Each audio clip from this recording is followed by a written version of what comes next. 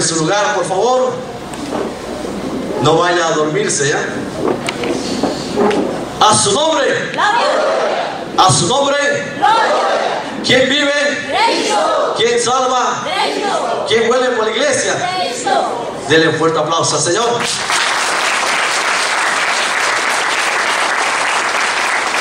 La palabra del Señor nos está hablando aquí de cuatro personas. Nos está hablando de Pedro, Juan, el cojo, y nos está hablando de Jesús de Nazaret.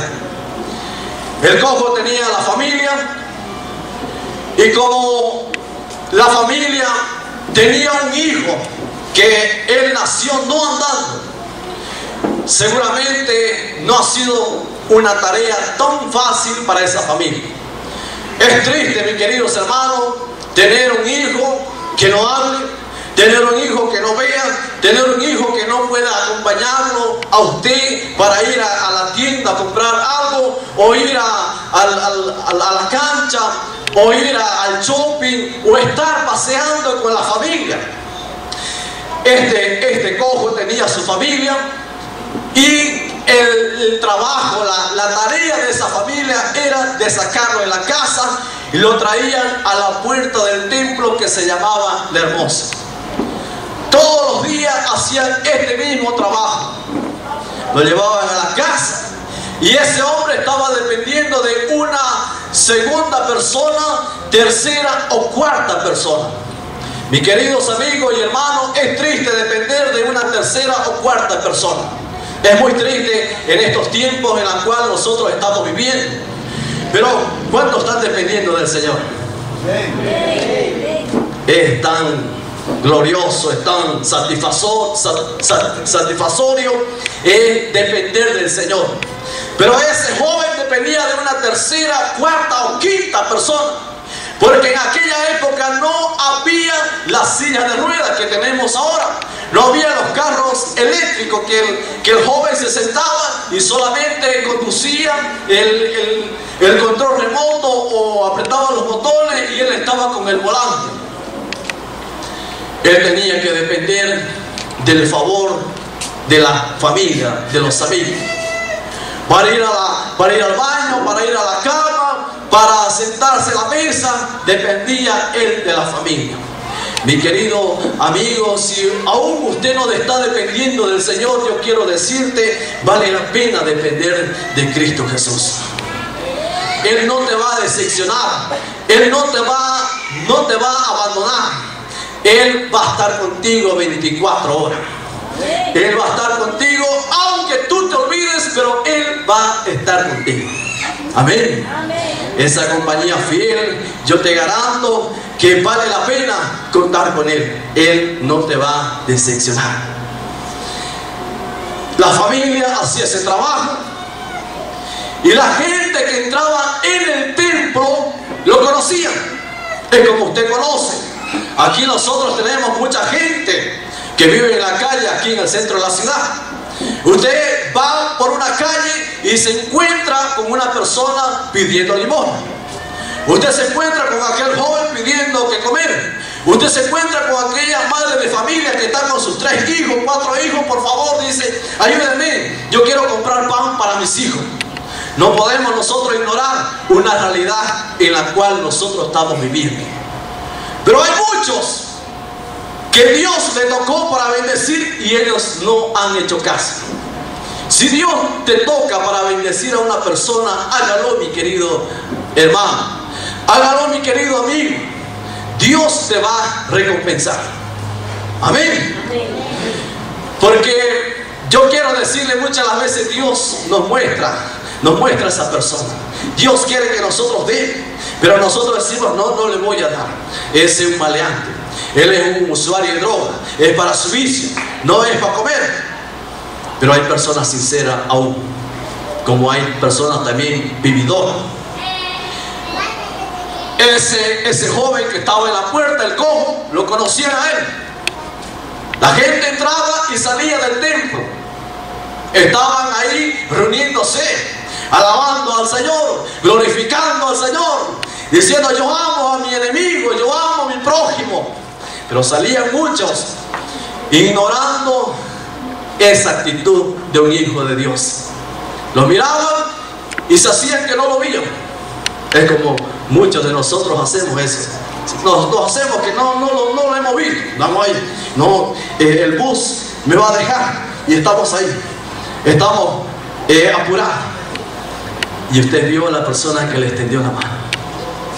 Pero usted ignoró. Yo quiero decirle, si Dios te toca, bendiga a esa persona. A su nombre. Gloria. Muchos conocían a ese hombre. Y dice que cierta tarde, la palabra del Señor está hablando aquí, que cierta tarde, la hora novena, que eso quiere decir tres de la tarde. Tres de la tarde esa persona, eh, esa persona estaba en ese lugar porque el trabajo de él era extender la mano y pedir limosna a la gente. Es triste. Yo he vivido esa vida, es humillante, es triste. No hacemos parte de la sociedad. Hoy en día una persona que vive en la calle pidiendo limosna no hace parte de la sociedad. Usted no recibe en ellos un abrazo, no recibe con un cariño, solamente reciben ignorancia, desprecio, de solamente crítica, odio. Y es por eso que ellos, muchos, ellos se, vienen, viene una ira, el diablo lo toma y vienen a ser usados por el diablo para atormentar a mucha gente. Él estaba en la puerta. Muchos le daban la limón, otros no le daban. Pero llega Pedro y Juan 3 de la tarde a orar. Yo quiero decirte que no hay horario para hablar con el Señor. Si el Señor, tú estás trabajando en la costura, si tú sientes orar, ¿por qué tú no puedes hablar con el Señor ahí costurando? Si tú estás en el trono, ¿por qué tú no puedes hablar con el Señor estando en el trono, estando en el baño? Si tú estás en el bus, la gente hablando ahí de, música, de moda, de novela. ¿Y por qué tú no puedes hablar con el Señor? Tú estás en el, en el metro. Se puede hablar con el Señor, mi querido amigo y hermano. Se puede hablar. El Señor va a escuchar nuestras oraciones de la manera, de la forma que nosotros nos presentemos delante del Señor. Tres de la tarde, Pedro y Juan, ellos estaban entrando al templo. Y el cojo extiende la mano. El trabajo del cojo era extender la mano. Ese era su, ejercicio, ese era su trabajo. Extiende la mano. Y Pedro estaba con Juan y le dice Pedro al cojo, mírame. El cojo dice que él le, le encaró, le dio un golpe de vista a, a Pedro y él dice que que con vergüenza, con la situación que él se encontraba, dice que encurva su rostro y levanta la mano. Y Pedro le dice, mírame. Aquí hay algo interesante. Bueno, tú conversas con alguien, aunque tú no lo conozcas, no sea tu amigo íntimo, pero tú conversas con él, le das un golpe de vista, tú sabes si él está alegre o está, o está triste. ¿Por qué usted va a saber eso? Por el semblante, por la manera que él vaya a expresarse. Entonces, cuando él, cuando Pedro le dio el golpe de vista, le dice, mírame. Entonces, Pedro vio que ese hombre, aún de, la, de la limosna que él necesitaba, necesitaba algo divino. Le dice, mírame. Y él fue sincero. Mi querido hermano, Dios se agrada de la sinceridad. Yo puedo engañarte. ¿Sabía eso? Yo puedo engañarte. Tú puedes engañarme, pero a Dios nadie engaña a Dios. A su nombre. Nadie engaña a Dios. Pedro fue tan sincero, le dice, no tengo plata de oro, lo que él estaba necesitando para poder llevar a la familia y que la familia pueda, pueda sustentarse. Pedro le dice, no tengo plata ni oro. Fue sincero el hombre. No le miente. Y Pedro le dice, mírame, él seguramente esperando, con las manos abiertas, estaba, estaba impactado, con la boca abierta, esperando. Seguramente dijo, voy a recibir más una moneda. Más un día que voy a recibir moneda. Más un día que voy a retornar a la casa con unas pocas monedas. Aquí nosotros vemos una lesión y nosotros vemos que Dios habla con nosotros es la perseverancia de la familia. Mis queridos hermanos, jamás Dios va a trabajar de acuerdo a tu reloj. Jamás Dios va a trabajar de acuerdo a lo que tú quieras que Él haga en el momento que tú quieres. Nosotros estamos viviendo en tiempos modernos, estamos viviendo en el siglo XXI, nuevo milenio, nueva generación, que todo es, todo es rápido. Y si no es rápido, nosotros lo dejamos y queremos algo rápido. Pero nos olvidamos que Dios trabaja de la manera que Él sabe trabajar. Y muchos cristianos están así. Están, quieren que Dios, eh, voy a ayunar, voy a orar. Y yo quiero que tú hagas esto por mí. Quiero casa, quiero trabajo, quiero dinero, quiero que tú eh, me sanes. Y quiero. Quieren ya. Pero Dios conoce tu corazón.